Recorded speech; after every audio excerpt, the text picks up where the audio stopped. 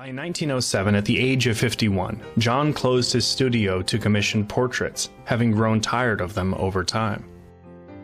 John Singer Sargent took to a new medium watercolors. With traveling in his blood, John traveled to America and hiked the Rocky Mountains in the pouring rain to paint the beauty of the waterfalls.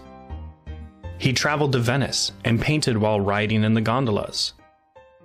He painted his adventures with a restless intensity from morning to night.